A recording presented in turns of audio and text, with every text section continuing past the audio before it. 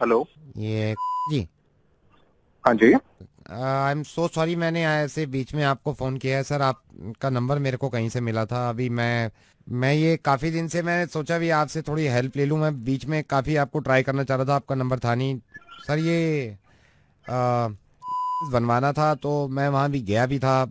Interview interview सब हो गया वो लेकिन मिल नहीं रहा है। हम्म। भाई साहब पहले तो आपको मेरा नंबर कहाँ से मिला?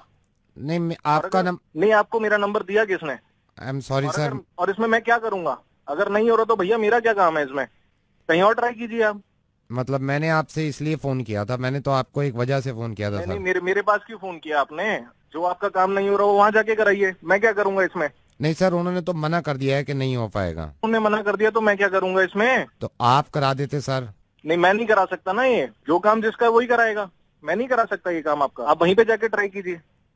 Sir I am sorry but sir कुछ ले दे के अगर आप ये क्या बदतमीजी है?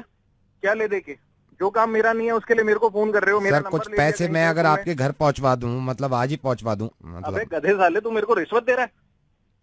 तेरे को पता है तू क्या बात कर रहा है? सर वो मिनट के अंदर अंदर करवा सकता हूँ मैं। हिम्मत कैसे हुई तेरी रिश्वत की बात करने की मेरे सर सर क्योंकि आप सरकारी एम्प्लॉय हो इसलिए मैंने रिश्वत की बात कर ली। तो क्या क्या क्या सारे सारे सरकारी एम्प्लॉय रिश्वत लेते हैं? तो फिर यह कैसे हो गया कि हर मुसलमान टेररिस्ट हो गया?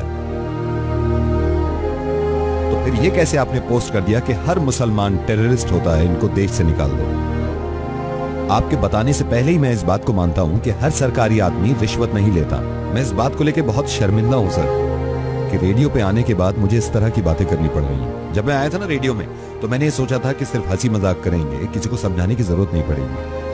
कितनी अच्छी बात है आपकी कि आप एक गवर्नमेंट एम्प्लॉय हैं तो आप रिश्वत से नफरत करते हैं, जो कि करनी भी चाहिए। लेकिन इतनी ही नफरत एक दूसरी कम्युनिटी से जो कि आपके साथ रह रही है, जो आपके साथ रहती थी और रहेगी।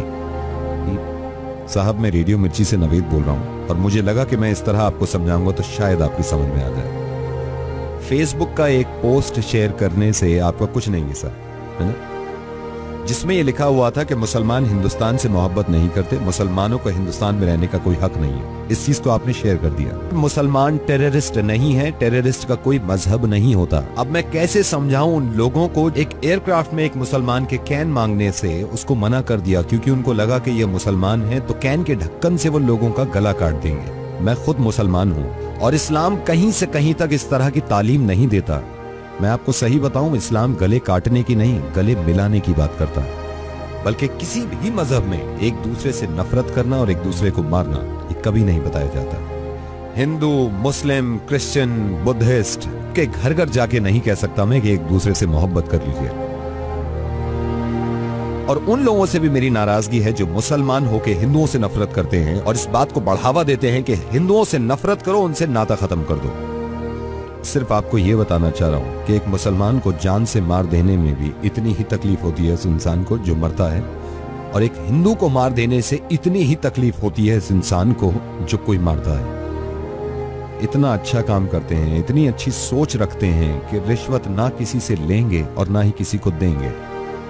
और मुझे मालूम है ये फेसबुक पे जो आग उगल रही है आजकल, ये पता नहीं कहाँ से शुरुआत हुई है और हम सिर्फ़ पुश करते हैं इस बातों को। जरा सोचिए, अगर आपको इस बात का अंदाज़ा हो भी गया कि आपने गलती करी तो आप जिम्मेदार हैं उन डेढ़ सौ लोगों के जिन्होंने ये जाके शेयर किया है। और अब आपकी ज़िम्मेदारी बनती है कि हर किसी को जाके बताएँ कि नहीं, मुसलमान गलत नहीं होते, मुसलमान साथ में रहते हैं, मुसलमान एक दूसरे से मोहब्बत करना जानते हैं। अगर हमारे मुल्क में या दुनिया में कहीं भी कोई इंसान कोई गलत काम करता है तो उसके बाद फिर ये नहीं देखना चाहिए कि ये हिंदू है, मुसलमान है, ईसाई है, बुद्धिस्ट है। उसकी सजा एक इंसान के तौर पे उसको मिलनी चाहिए कि ये काम इसने गलत किया है। अगर आपके हिसाब से इस दुनिया को भगवान ने बनाया है और सारे बंदे भगवान के हैं, और अगर मेरे हिसाब से इस दुनिया को अल्लाह ने बनाया है और सारे ही अल्लाह के बंदे हैं तो हम में से किसी को भी यह हक नहीं है कि अल्लाह या फिर भगवान के बंदे को हम तकलीफ़ पहुंचाएँ। सॉरी अगर कोई बात बुरी लग रही है आपको। मुझे इस बात पे ही बहुत ज़्यादा खुशी है। ये भी हो सकता था कि आप फ़ोन डिस्कनेक्ट कर देते अगर आपकी जहनीत वैसी होती। लेकिन कहीं ना कहीं मुझे ये लग रहा है कि आप बात को समझ रहे हैं। आप इस बात को बिल्कुल गलत मत समझिएगा कि मैं एक मुसलमान होने की वजह से फ़ोन कर रहा हूँ। मैं एक इंसान होने की वजह से फ़ोन कर रहा हूँ। किस तरह दुनिया को ये समझाऊं कि कोई साहिबा अगर बुरका पहने हुए हैं तो उनसे डरने की ज़रूरत नहीं है। किसी इंसान की अगर दाढ़ी है तो ज़रूरी नहीं है कि बॉम्ब उसके पास है। क्योंकि जो इंसान अल्लाह के खौफ से दाढ़ी रखता है, वो किसी का दिल नहीं तोड़ सकता, बॉम्ब से तो क्या उड़ाएगा? फेसबुक में न जाने किसने ये शुरुआत करी थी एक इंसान के फ़ोटो के साथ। मुझे इस बात से बहुत ज़्यादा खुशी है कि मैं जिनके साथ काम करता हूँ, आधे से ज़्यादा हिंदू हैं। दस साल हो गए मुझे। दस साल हो गए, आज तक छोटी सी शिकायत ना मुझे उनसे मिली, ना उन्हें मुझसे मिली। इससे ज़्यादा बड़ा एग्ज़ाम्पल हो नहीं सकता हमारी मोहब्बत का।